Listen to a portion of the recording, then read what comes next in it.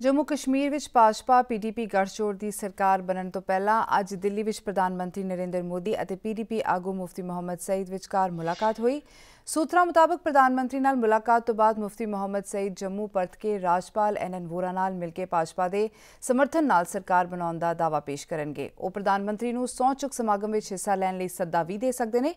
PDP ਆਗੂ ਮਹਿਬੂਬਾ, ਮੁਫਤੀ ਅਤੇ ਭਾਜਪਾ ਪ੍ਰਧਾਨ ਅਮਿਤ ਸ਼ਾਹ ਨੇ ਪਿਛਲੇ ਦਿਨੀ ਦਿੱਲੀ ਵਿੱਚ ਮੁਲਾਕਾਤ ਕੀਤੀ ਸੀ, ਜਿਸ ਤੋਂ ਬਾਅਦ ਉਹਨਾਂ ਸੂਬੇ ਵਿੱਚ ਗੱਠਜੋੜ ਸਰਕਾਰ ਦੇ ਗਠਨ ਦਾ ਐਲਾਨ ਕੀਤਾ ਸੀ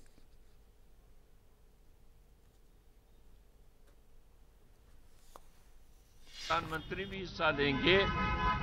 तो उसी वक्त हम जो कॉमन मिनिमम प्रोग्राम है आप लोगों के सामने रखेंगे सर आए हुए आज क्वेश्चन- मेरी जो वार्ता हुई घंटे डेढ़ घंटे की पूरी डिस्कशन हुआ सारा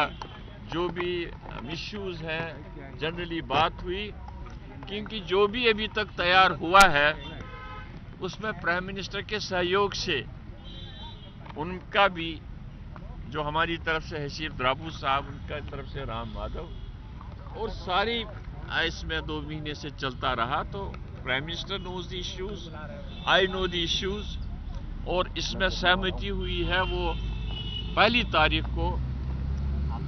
जब स्वेरिंग सेरेमनी के बाद हमने तीन बजे वहाँ प्रेस रखी है, उसका हम बता देंगे। ਖਬਰਾਂ ਦੀ ਦੁਨੀਆ ਵਿੱਚ ਆਓ ਸਾਡੇ ਨਾਲ ਕਦੇ ਵੀ ਕਿਤੇ ਵੀ ਜੁੜੋ